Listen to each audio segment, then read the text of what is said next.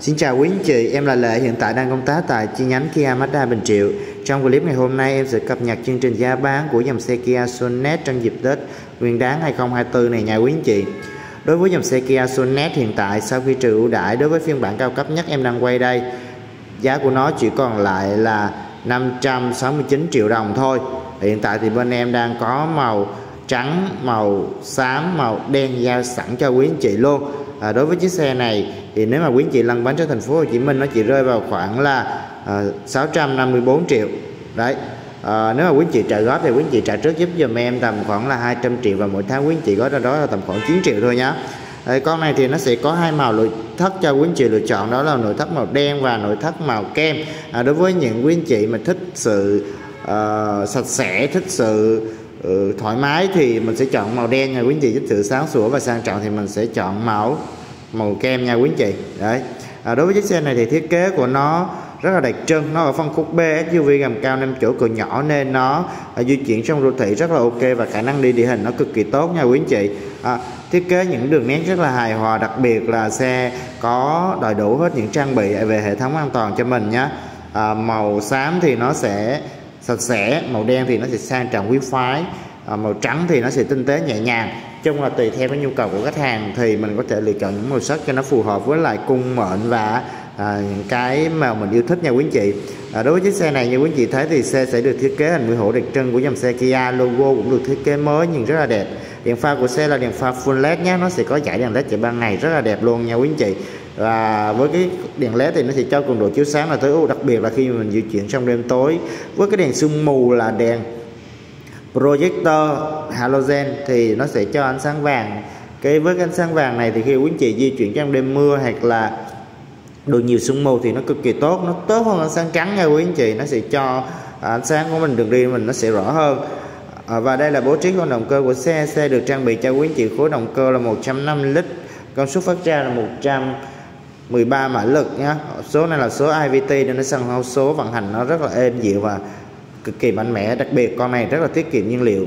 Và đối với chiếc xe Kia Sonet thì nó chế độ bảo hành lên đến 5 năm cho quý anh chị. Ở một số dòng xe du lịch nó chỉ bảo hành cho quý anh chị là 3 năm thôi hoặc là 100.000 cây. Còn đối với chiếc Kia Sonet này nó chỉ bảo hành cho quý anh chị 5 năm hoặc là 150.000 km gần như nó sẽ uh, có cái bảo hành rất là tốt cho quý khách hàng à, xe sẽ được trang bị cho quý anh chị là bộ mâm đúc hợp kim. Đường kính mâm của nó là 16 inch nhé phanh trước của nó là phanh đĩa này à, khỏi sáng gầm là 205 mm nên là cái khả năng đi địa hình đường đèo dốc hay là băng đèo lội suối của nó rất là ok luôn nha quý anh chị. Gương chiếu hậu thì gặp điện chính điện và tích hợp điện báo rẻ trên xe tay ném cửa thì mạ chrome có nút khóa mở cửa bằng một lần chạm à, mở cửa xe như quý anh chị thấy với cái nội thất màu đen này nó chỉ cho chúng ta có cái cảm giác xe mình nó sẽ sạch sẽ hơn. Đặc biệt là gia đình có em bé thì nên chọn màu đen nhé bởi vì khi mà lên xe xuống xe thì mình phải vệ sinh thường xuyên và liên tục thôi.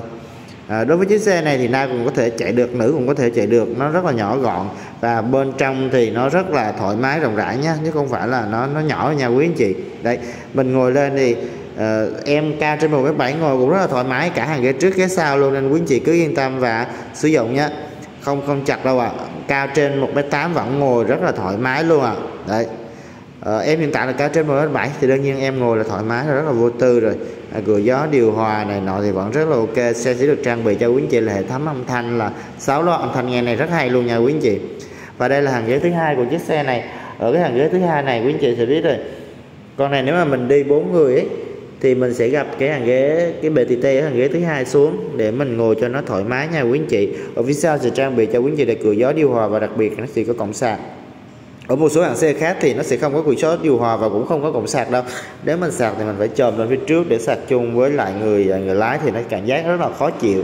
Nhưng đối với con Kia Sonet thì nó sẽ được trang bị cho quý anh chị luôn nhé. Ngoài ra thì đối với những bạn cao cấp thì nó sẽ trang bị cho quý anh chị là à, cửa sổ trời. Đấy à, ngoài cái tính năng là tạo cái không giác không gian thông thoáng thì nó cũng như là một cửa thoát hiểm để giúp cho uh, người lái trong quá trình uh, người lái và người sử dụng trong quá trình sử dụng mà có xảy ra sự cố như rơi xuống hồ sông suối thì vẫn còn một đường để mình thoát ra ngoài nhà quý anh chị. À, và đây là bố trí phần đuôi của chiếc xe được thiết kế với những cái đường nét khắp khúc cho chiếc xe mình nó thể thao hơn mạnh mẽ hơn. Cụm đèn hậu của nó là những dải led và chấm bi tạo ra một cái điểm nhấn và ở phía sau còn được trang bị cho quý anh chị là cảm biến lùi tích hợp thêm camera lùi để giúp người lái lùi vào độ xe một cách là an toàn. Với cái khoảng không gian xe như thế này thì phần cốp xe bên trong cũng rất là thoải mái luôn nha quý anh chị. Để cho quý anh chị xem về cái khoảng không gian cốp của chiếc xe Kia Sonet này. À, nó khá là rộng ấy. À, phía trên còn được trang bị cho quý anh chị là ba ga mui và vây cái mập để tăng thêm cái sự thể thao cho chiếc xe. Đây đây là cái khoảng sáng em xin lỗi, đây là cái khẩu không gian cốt của chiếc xe. Đi thích xe bên em sẽ hỗ trợ tặng cho quý chị tông lót cốt chống thấm này, giá được kho hành lý, đấy, và thảm sàn luôn. Rất là tiện lợi nhé. Đây, này thì để được ờ, hai vali rồi này. Đó, vẫn rất là ok, để đồ vẫn rất là thoải mái. Đi về về quê, đi du lịch hay là chị em mình đi chợ thì vẫn rất là thoải mái và vô tư nha quý anh chị. Xe này chạy trên 20 km h thì tự động nó sẽ lóc cửa cho quý anh chị luôn. Đấy à, quý anh chị có thể thấy à, ghế tài của xe sẽ được chỉnh điện này. À, và đối với chiếc xe này thì nó được trang bị cho quý anh chị là ghế da cao cấp nên ngồi rất là thoải mái với những lỗ thoát khí ở trên xe này. Đó quý anh chị xem nhé xe sẽ được trang bị cho quý anh chị hệ thống cân bằng điện tử này. Vô lăng được thiết kế theo dạng được kết nhìn rất là thể thao. Trên vô lăng thì tích hợp những nút điều khiển âm thanh chế độ điện thoại nghe gọi đến tay hệ thống ga tự động rule control à, rất là ok nha. Đèn pha thì tự động bật tắt theo ánh sáng luôn.